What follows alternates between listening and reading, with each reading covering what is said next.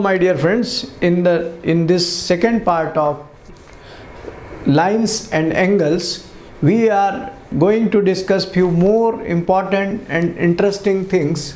So you might have heard about parallel lines. Two lines two lines are called parallel lines. When two lines are called parallel when they in, they do not intersect each other and lying on the same plane.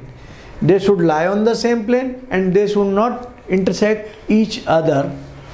So these kind of lines are called parallel lines. And lines are called these are parallel lines parallel lines. And if they are not parallel and lying on the same plane again if they are not parallel and lying on the same plane it means they will be intersecting each other. They will be intersecting each other. They are called intersecting lines. You can say that this is a line this is a line. Where are they intersecting? So my dear friends in the last video i told you that a line has length infinite. It is it can be a line segment but it is not a line. So line is having its length infinite.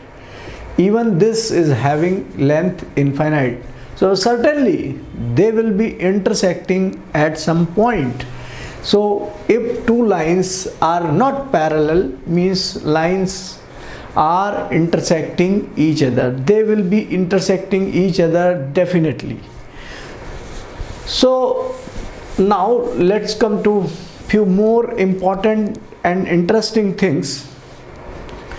Two lines are parallel and a line intersects like this.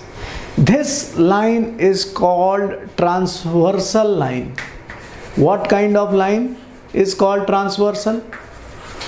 So if i go to the definition of transversal then transversal line is a line which intersects two or more lines. So what kind of line is transversal? A line which intersects which intersects intersects or more lines. Two or more lines. Okay? Two or more lines. And of course they are lying on the same plane. Lying on the same plane. Okay? On the same plane. Same plane. So the figure should be like this. This is a line. This is a line. Intersecting by a line this line will be called transversal line. See what kind of line is this? This is a transversal line and of course even this is a transversal line. And this transversal line is intersecting two parallel lines. This transversal line is intersecting two parallel lines so now i think it is clear to you that if lines are transversal line means a line which is intersecting two or more lines. And here the line is intersecting two parallel line parallel lines. Therefore this line is a transversal line. Now let's come to an axiom a most important axiom this axiom says if a transversal line if a transversal line intersects two parallel lines then these two angles this angle and this angle these two angles will be equal. These two angles will be equal. If this is x degree then this will be x degree. And this you can experience. This is a matter of experiencing the thing. That is why this is called axiom and it does not require to prove it. These two angles are what? These two angles are equal. And these two angles are equal and called corresponding angles. What angles are they they are corresponding angles these two angles are called corresponding angles and that is why this property is called corresponding axiom. Corresponding angle axiom. What kind of property is this? Corresponding angle axiom. Okay? So i hope this is clear to you that these two angles will be equal. And of course these two will be equal. Why? Again the same concept. This is these two angles are interior and this is exterior of this. This is exterior of this. This is exterior of this. If these two are equal then these two are equal. Y degree y degree okay? And y degree is what? Y degree is 180 degree minus x degree. Why? Because x degree and y degree they are lying on on a straight line. Therefore x degree plus y degree is what? 180 degree. And similarly here even this is what? Even this is 180 degree minus x degree linear pairs. Linear angle pairs. So x degree plus y degree is what? 180 degree. And that is why these two angles are equal. And why are they equal? Again the same concept the same property. And now let's come to another kind of angles vertical angles vertically opposite angle or I should say vertically opposite. Opposite. If two lines intersecting each other then you can see this angle and this angle this angle and this angle. Both the angles are equal. You can see here same line same line. These two angles are equal. If this is z degree then this will be z degree. And if this is what? This is what? If this is w degree then this will be what? W degree. I hope it is clear to you. These two will be same these two will be same. And what kind of angles are they? They are called vertically opposite. So they are vertically opposite again I draw the same figure. And let's discuss important things. These two lines are parallel. This angle is what? X degree. Okay? And this will be what? This will be what? X degree. Why this is x degree? Because of vert they are vertically opposite. So to prove this we can use the concept. Okay? Let's see. Why are they x degree x degree same? This is what this is what this is 180 degree minus x degree. Okay? And this will be what? This will be what? This is 180 degree minus x degree and this is because they are lying on a line these two they are linear pair therefore this will be 180 degree minus 180 degree minus x degree. So minus 180 180 degree will be cancelled. Minus minus becomes plus and x degree. That is why these two angles are same. So x degree this is x degree and this is x degree. Why? Because they are vertically opposite. This is x degree x degree.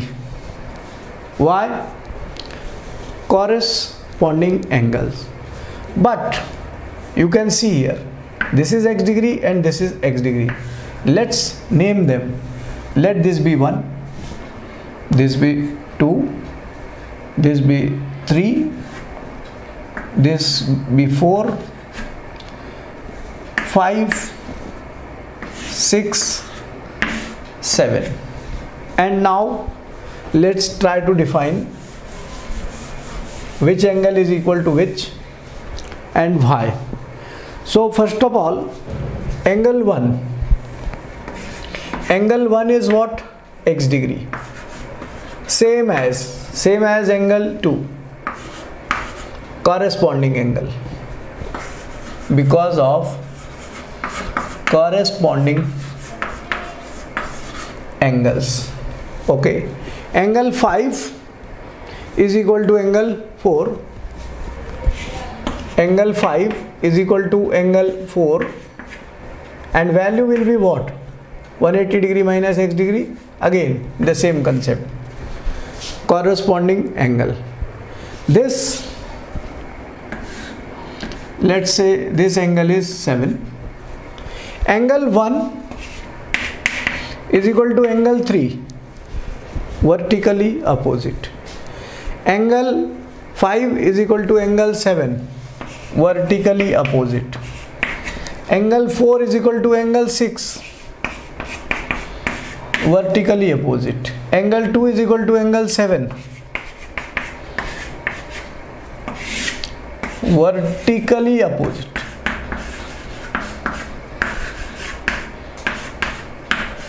Vertically opposite. This is x degree. This is x degree because of because these are vertically opposite and this is what? X degree. Now you can see angle 3 is equal to angle 2 and if this is x degree then naturally this will be 180 degree minus x degree. Okay? Linear pair. Or other concept these two are vertically opposite. So these two are vertically opposite and here if it is x degree this will be 180 degree minus x degree. Means this angle is equal to this angle angle 7 is equal to angle 4 angle 7 is equal to angle 4 angle 3 is equal to angle 2 angle 3 is equal to angle 2 and if this is 180 degree so these two are same. This and this this and this. So they are called interior alternate angles. Which angles? This this this pair 3 2 4 7 interior alternate angles. And this angle 5 see angle 5 180 degree minus x degree even this being vertically opposite 180 degree minus x degree.